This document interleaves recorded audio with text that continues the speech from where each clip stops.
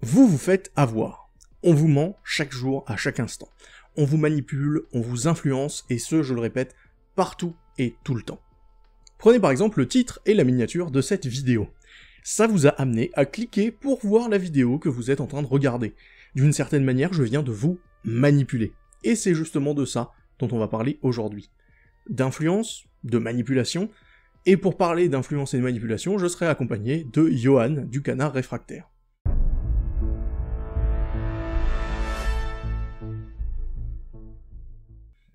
On va voir qu'on nous manipule, oui, mais en fait, on va surtout voir qu'on s'entre-manipule un peu tous, et que c'est pas forcément en soi si négatif que ça. Pas si négatif que ça, t'as quand même des trucs qui sont un peu chelous dans YouTube Game, du genre, je vais te donner un exemple. Euh, tu fais une vidéo qui est très subtile, tu sais, qui parle d'un sujet qui est important, mais qui est pas trop polémique, avec un titre qui est honnête, et surtout avec une vignette qui correspond et qui illustre bien la vidéo qu'il y a dedans. Et ben tu te retrouves avec euh, des stats normales, genre 15 000 vues, tu vois. Par contre, au moment où tu vas faire une analyse un peu bidon de Macron en taclant un peu de manière un peu grossière, mais c'est pas grave, mais surtout en faisant une miniature et un titre ultra putaclic, et ben là tu te retrouves avec 50 000 vues. Et du coup, bah, il n'y a pas de justice. Enfin, il n'y a pas de justice, mais surtout, tu te retrouves dans une situation où tu te dis, oh, bah, si ça marche mieux en faisant cette forme-là, tant que ça sert le fond, tu sais, tout ça, tout ça.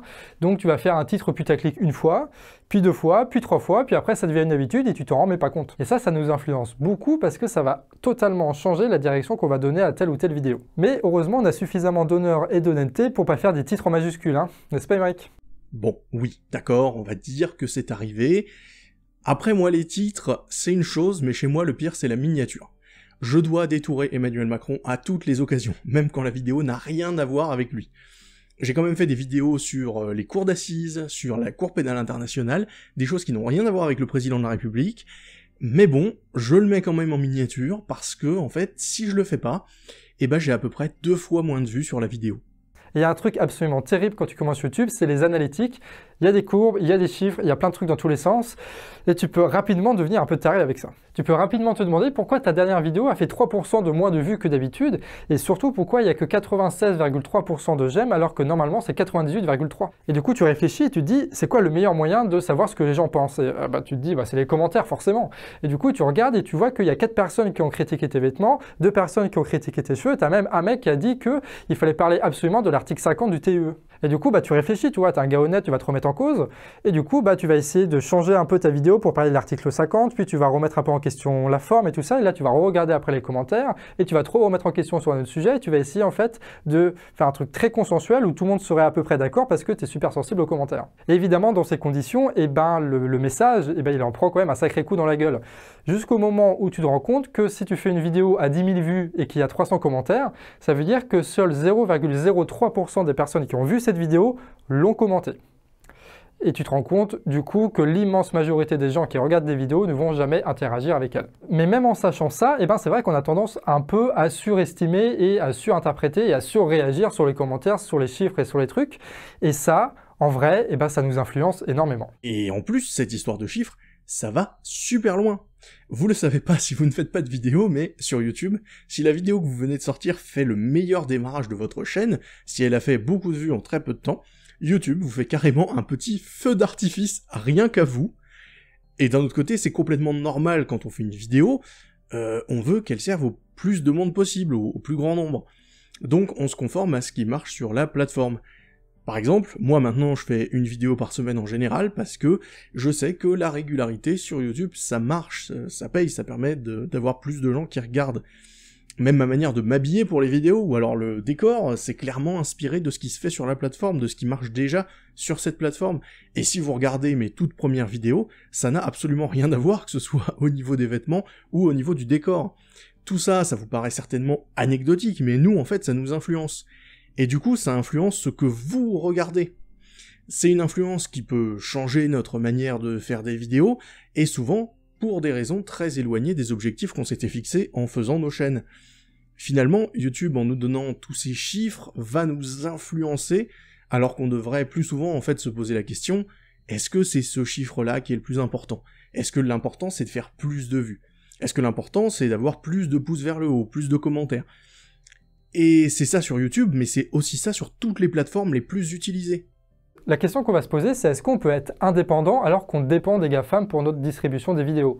Sachant que Google, c'est probablement la pire entreprise qui existe, et ce qui est un peu contradictoire vu qu'on se dit euh, militant, anticapitaliste, tout ça, tout ça. Bon, évidemment, la réponse à cette question, c'est pas trois lettres, on va un petit peu développer et voir que c'est surtout des opportunités et des contraintes. La plus grosse des contraintes, c'est que YouTube va considérer nos vidéos comme si c'était des marchandises qu'elle veut vendre à ses utilisateurs. Et ce qu'elle, elle conçoit comme quelque chose qui a de la valeur, c'est la capacité d'une vidéo à retenir les gens au maximum sur le site. Ce qui est bien différent de notre projet politique à nous, qui est de faire de l'éducation populaire, de faire passer des idées. Ce qui fait que si on veut que notre vidéo marche sur la plateforme, on n'a pas d'autre choix que de se comporter comme une bonne marchandise sous les yeux de YouTube. Et ça, ça va apporter beaucoup de contraintes. Mais on le voit aussi, c'est pas forcément incompatible. Les exemples, par exemple, des vidéos de Franck Lepage qui sont vues des centaines de milliers de fois, montrent bien qu'il est possible de faire de l'éducation populaire militante sur une plateforme aussi capitaliste que Google. Donc c'est pas quelque chose qui soit antinomique. Mais par contre, ça va largement influencer notre manière de faire des vidéos parce qu'il faut répondre aux exigences de la plateforme.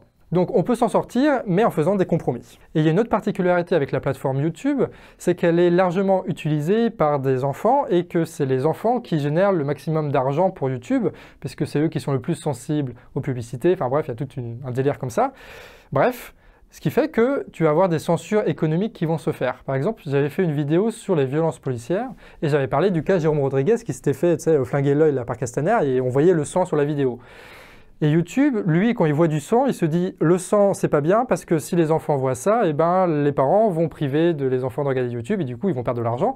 Donc l'algorithme pas parce que c'est politique, mais parce qu'il y a des contraintes économiques, il va faire en sorte de couper toutes les scènes de violence. Ce qui fait que ma vidéo sur Jérôme Rodriguez, là, et les violences policières, eh ben, on pouvait y accéder seulement si on avait un compte Google et que ce compte Google certifiait le fait qu'on avait plus de 18 ans. Ce qui fait qu'en en fait, elle était morte et plus personne ne pouvait vraiment la regarder réellement, ça passait plus en suggéré, tout ça, tout ça.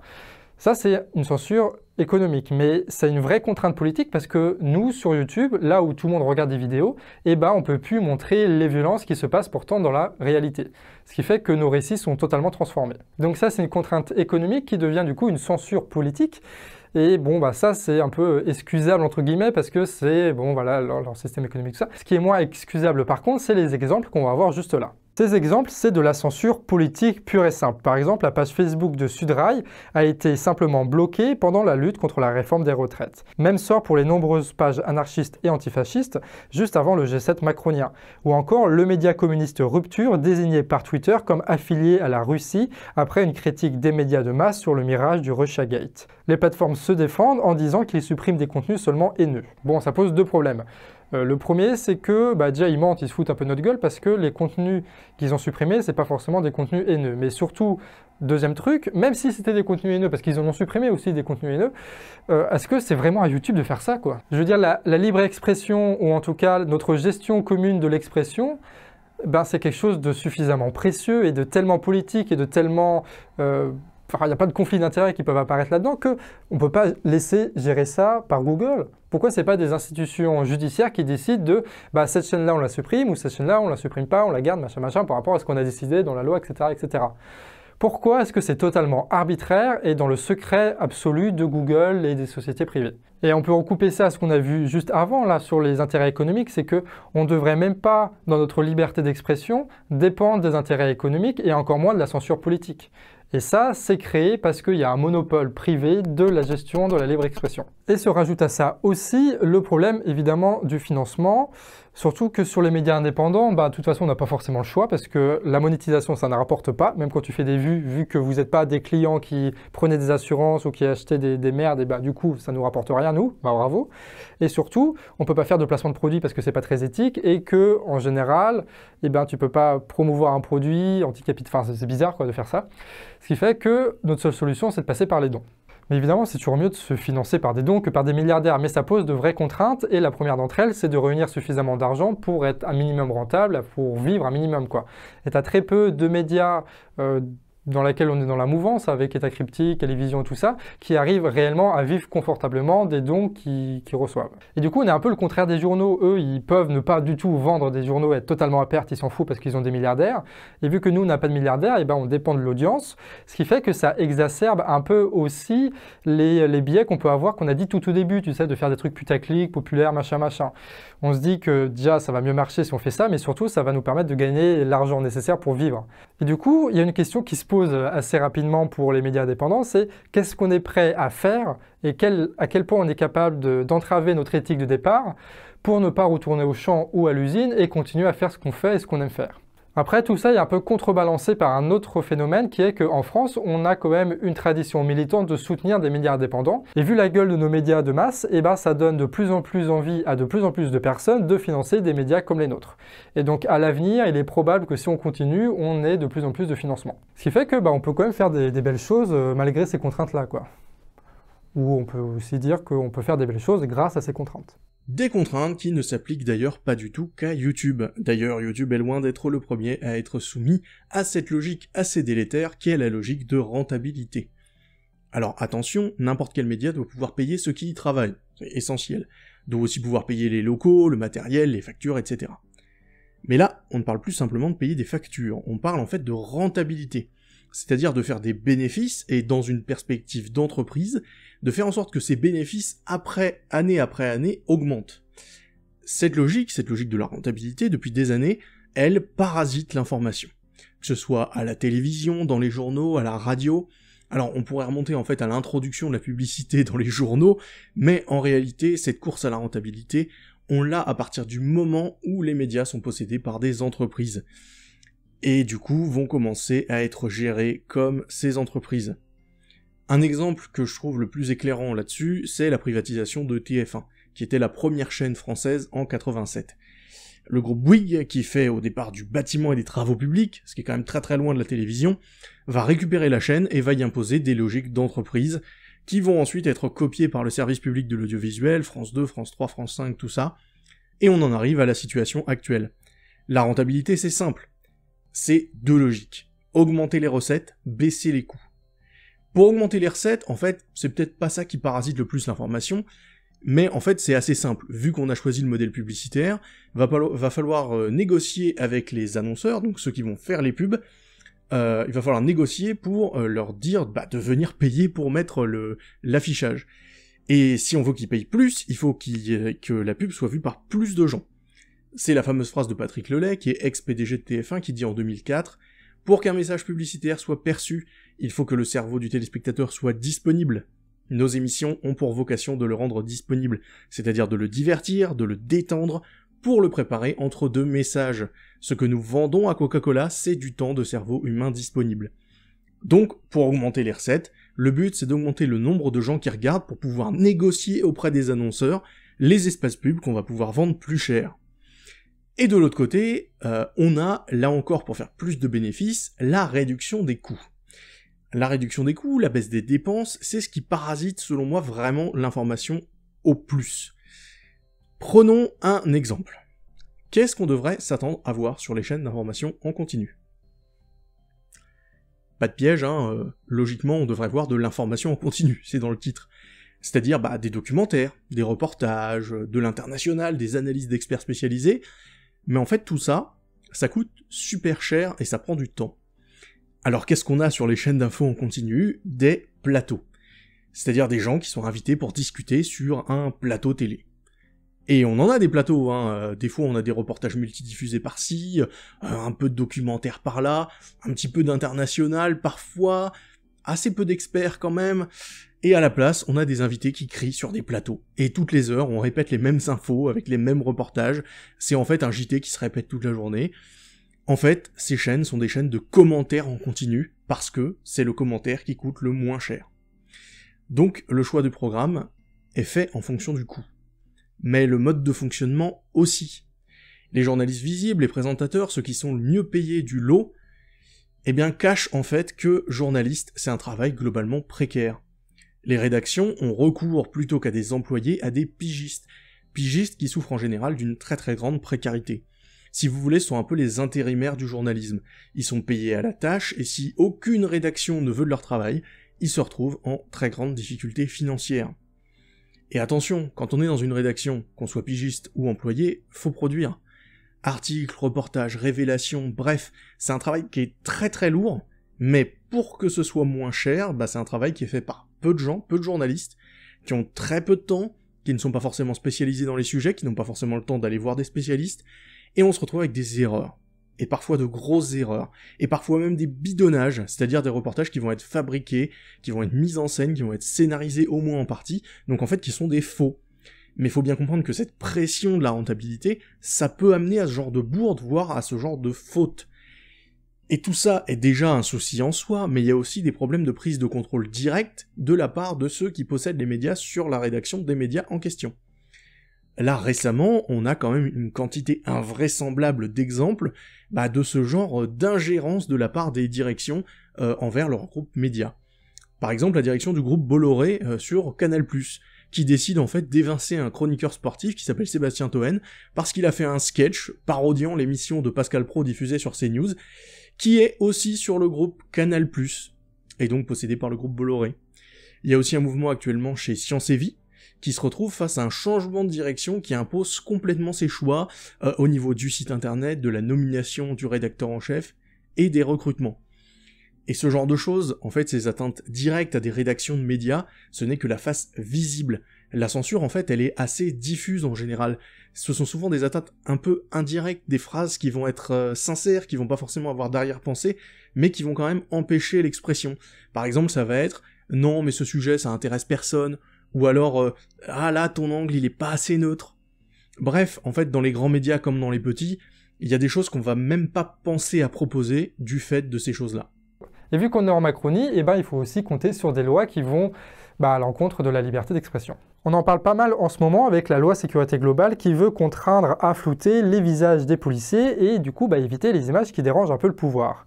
Mais juste avant ça, il y avait aussi les nouvelles consignes de la gestion du maintien de l'ordre qui donnent le droit à la police de choisir à la volée quel média peut rejoindre quelle manifestation. Il y a aussi toute une histoire de la carte de presse qui va devenir quasiment synonyme de journaliste, alors que bah, pas du tout, c'est juste un statut fiscal, mais ça va permettre au gouvernement de mieux museler les petits médias. Mais il y a plus inquiétant encore avec la future modification de la loi de 1881. Cette loi, c'est le cadre de la liberté de la presse et ça s'applique notamment à tout ce qui est en ligne et à tous ceux qui sont journalistes sans carte de presse. Ils avaient déjà fait ça avec la loi Avia sous excuse de lutte contre la haine. Et du coup, le but là vraiment, c'est de détruire complètement le journalisme citoyen. Et tu as pas mal de réactions qui sont pas forcément des réactions de milieux militants. Par exemple, Reporters sans frontières, dans son classement sur la liberté de la presse, au niveau mondial, hein, a placé la France à la 34e place. Et franchement, leur résumé se suffit à lui-même. L'année 2019 a été marquée par une hausse très inquiétante des attaques et des pressions contre les journalistes. Nombreux d'entre eux ont été blessés par des tirs de LBD ou de gaz lacrymogène des forces de l'ordre et agressés par des manifestants en colère pendant le mouvement des Gilets jaunes, puis lors des manifestations contre la réforme des retraites. Ils ont souvent été entravés dans leur couverture, empêchés de filmer ou ont vu leur matériel confisqué. Après ça, RSF parle aussi de l'intimidation des journalistes enquêtant sur l'affaire Benalla ou les ventes d'armes françaises avec des convocations judiciaires pour identifier les sources de l'information. Et à ça s'ajoute bien évidemment tout ce qu'on avait dit avant sur les milliardaires qui possèdent les médias et les autres pressions sur les journalistes. Le Conseil de l'Europe pour la protection des journalistes, eux, récolte les différentes alertes. Et en France, eh ben, il y a clairement une accélération de ces alertes. Il y en a eu 7 déposées en 2015 et là, en 2020, on en est à 18. Et du coup, bah, ça classe la France au quatrième rang européen dans ce classement, derrière la Turquie, la Russie, l'Ukraine et devant l'Azerbaïdjan et l'Italie. Enfin, on en est quand même au point où on peut dire, là, officiellement, tu vois, sans, sans, utiliser des arguments militants et trucs comme ça, que en France, il y a plus de pression et d'attaques contre les journalistes qu'en Azerbaïdjan. Voilà. Bref, autant vous dire que tout va mal, que la liberté d'expression est en train d'être détruite et que face à ça, eh ben, on peut pas faire grand chose. Et du coup, nous, on se retrouve dans une prochaine vidéo pour comprendre d'une façon un peu différente pourquoi c'est la merde, pourquoi tout va s'effondrer et pourquoi on ne peut absolument rien faire contre ça. Sur ce, des bisous et à la prochaine. Attends, comment ça, bisous? Non mais, non mais restez. Non mais c'est pas la fin. Il, il m'a fichu son générique? Mais non mais, on arrête ça. Stop, stop, stop, stop, stop. La ligne éditoriale ici, c'est moi. Donc on va certainement pas s'arrêter sur un constat pareil. En fait, il y a des moyens qui permettent de sortir de ce guépier. On est loin d'être les premiers à alerter sur les problèmes d'influence. Et il y a une boîte à outils qui existe pour mieux réussir à s'informer malgré justement ce jeu d'influence. Ça se passe dans notre tête et c'est la boîte à outils qu'on appelle esprit critique. Plein d'outils qui en fait permettent de se poser des questions face à une information, de la mettre aussi sur en fait une échelle de fiabilité. Parce que non, l'esprit critique, ce n'est pas douter de tout et de tout le monde tout le temps. C'est en fait un tas d'outils de pensée qui permettent vraiment d'avoir une finesse d'analyse, de savoir d'où vient l'information, de savoir comment l'apprendre. Un bon exemple d'outil par exemple qui va pouvoir vous servir, ça va être la carte Qui possède quoi réalisée par le monde diplomatique et Acrimed, qui va permettre de situer le propos d'un journal par rapport à son propriétaire. Parce que oui, savoir d'où on nous parle, ça fait partie de l'esprit critique, et ça veut pas dire que tout ce qui est dans le média est faux. Et d'ailleurs, le monde diplomatique se place lui-même dans sa propre carte euh, de possession, ce qui n'enlève rien à la qualité des productions du journal. Pour être plus familier avec ces outils de l'esprit critique, je vous conseille deux séries de vidéos que je mettrai en lien à la toute fin de la vidéo, et dans la description également. La première série, ce sont les épisodes d'Hygiène Mentale, la chaîne YouTube de Christophe Michel, qui est vraiment hyper intéressante et permet surtout de perfectionner notre façon de raisonner, notre façon de réfléchir à justement euh, les informations qu'on va mettre dans notre tête. En plus, c'est avec des exemples souvent abstraits, donc ça évacue l'émotionnel, ça permet de se concentrer vraiment sur l'argumentaire. Ma deuxième recommandation, c'est la série de conférences de Richard Monvoisin à l'université de Grenoble. Alors cette série, elle s'appelle Zététique et Autodéfense intellectuelle. Autodéfense intellectuelle, en fait, c'est un autre nom de l'esprit critique. Zététique, pareil. Et là, c'est plus du concret, alors il faut avoir l'esprit déjà assez ouvert pour y aller et ne pas avoir peur de changer d'avis parfois euh, en regardant ces vidéos. Et si tout ça, c'est plutôt des solutions individuelles, il faut savoir qu'il y a aussi des solutions collectives. Aujourd'hui, on dépend de systèmes informatisés qui peuvent totalement se passer des monopoles privés. Ouais, enfin, sauf pour euh, fabriquer les composants. Oui, bah non, mais oui, c'est vrai. Et puis pour l'extraction des minerais pour ses composants aussi. Oui, non, mais enfin, à part ces deux éléments absolument cruciaux et indémontables, eh ben, on peut totalement se passer du monopole privé.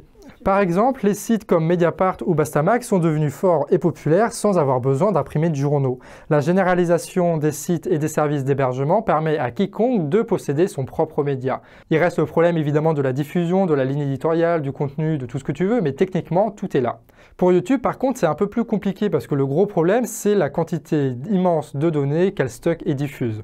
Tout est centralisé sur des serveurs gérés par la même boîte et ça coûte un pognon monstre et forcément, bah, ça crée une situation de monopole mais il existe pourtant des solutions en open source comme Peertube. Chacun peut créer une instance Peertube sur son serveur et les différentes instances peuvent être reliées entre elles. Tout le monde peut le faire et gérer son instance comme elle le désire, donc il n'y a plus de problème d'une entreprise qui gère tout et qui décide de tout. Et quand tu regardes une vidéo sur Peertube, tu envoies en même temps les données que tu as téléchargées à un autre utilisateur qui fera de même pour quelqu'un d'autre, etc., etc. Ce qui fait que les données circulent indépendamment du serveur qui est du coup beaucoup moins sollicité. Et ça, bah, ça permet de se libérer d'une grosse contrainte financière. Et mine de rien, avec ça, eh ben, on a une solution technique pour se passer de YouTube.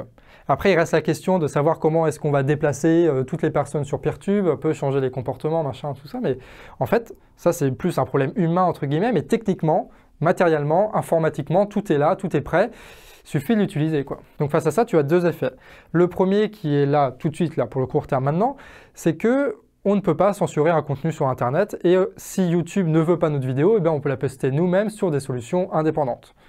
Et ça, je ne sais pas si c'est bien ou pas, mais en tout cas, c'est le cas. Et le deuxième truc, c'est que tu te dis, il suffirait d'un peu de pognon pour faire bosser pas mal d'informaticiens sur ce truc-là, pour totalement foutre un coup de pied dans la fourmilière et emmerder euh, YouTube, les Facebook, les Twitter, parce que là on a parlé de Peertube pour YouTube, mais tu la même chose pour Twitter, tu la même chose pour Facebook, pour les sites aussi avec WordPress. Aujourd'hui, le libre, il est tellement bien organisé qu'il a trouvé des solutions techniques pour tous les sites aujourd'hui des GAFAM. Il suffirait donc de mettre quelques millions d'argent public là-dedans pour vraiment, vraiment se débarrasser des GAFAM. Et quand on arrivera à ce stade-là dans notre pays, eh ben, on se serait quand même enlevé une belle épine du pied. Après, tu me diras, il se pose quand même la question du financement. Voilà, de comment est-ce qu'on finance un média, les journalistes, les machins, les trucs. Et par rapport à ça, tu as aussi une réponse exceptionnelle que j'ai très hâte de vous en parler, qui est vraiment très cool. Ça vient évidemment du monde diplomatique, qui permet de résoudre tout le problème du financement des médias. Et ça, on va en parler dans une prochaine vidéo. Et ouais. En tout cas, on espère vous avoir déjà donné pas mal d'éléments d'analyse dans cette vidéo. Ce qu'il faut en retenir, c'est que Johan est manipulé. Et Johan nous vous manipule et nous manipule. Je suis manipulé et je vous manipule. YouTube est manipulé, YouTube vous manipule. La télé, la radio, les journaux, pareil. Vous êtes manipulé et vous aussi vous manipulez. Nous, pour vous faire regarder cette vidéo, on vous a manipulé. Mais finalement, est-ce que c'était une mauvaise chose en soi? Les influences, elles font nos pensées, nos manières de réfléchir. Et du coup, la question à se poser, c'est surtout lesquelles nous sont bénéfiques et lesquelles nous sont néfastes. Lesquelles méritent de nous influencer et lesquelles doivent être recalées. Pour ça, on a un outillage qui existe, qui permet de mettre en place un filtre fin, qui va nous permettre de trier les informations, qui va nous permettre de ne laisser passer que celles dont on a de bonnes raisons de croire la véracité, c'est ce qu'on appelle l'esprit critique. Et si certaines de ces informations, qui auraient de bonnes raisons d'être partagées, ne trouvent pas d'écho dans le monde médiatique, c'est qu'il va falloir trouver des alternatives, des solutions techniques, des solutions collectives à ce problème. Appliquer de nouveaux modes d'organisation, par exemple comme celui qui est proposé par le monde diplomatique, euh, comme celui de Mediapart par exemple, et pour Internet, faire connaître l'existence d'alternatives techniques comme Peertube par exemple. Il ne me reste qu'à vous renvoyer, comme je vous l'avais dit, sur les conférences de Richard Monvoisin et les épisodes d'hygiène mentale. Et si vous voulez plus d'éléments sur les dilemmes que vivent les vulgarisateurs, il y a un excellent article euh, d'Antoine de la chaîne Histonie, alors qui parle de vulgarisation en histoire, mais qui est sorti récemment et qui, à mon avis, s'applique à tous les vulgarisateurs. N'hésitez pas à laisser un pouce vers le haut, à commenter la vidéo, et à partager cette vidéo pour manipuler vos amis à votre tour. N'hésitez pas non plus à vous abonner au canard réfractaire, merci Johan pour ta participation. Moi je vous retrouve certainement dans une vidéo dont la miniature contiendra un énième détourage de Monsieur Macron.